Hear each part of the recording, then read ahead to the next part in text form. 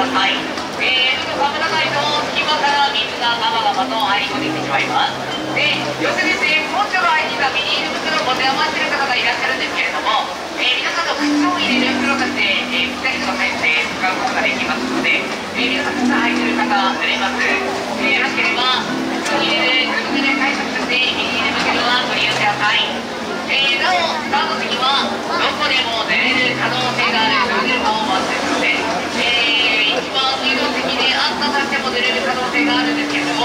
前の方に行けばどんどん寝れる可能性が上がっていきます。ちなみに、前4段はほぼ100%ベーシックの寝れです。えー、皆さんの着ているポンチョ、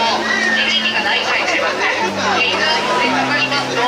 あらゆる隙間からガバガバと水が入り。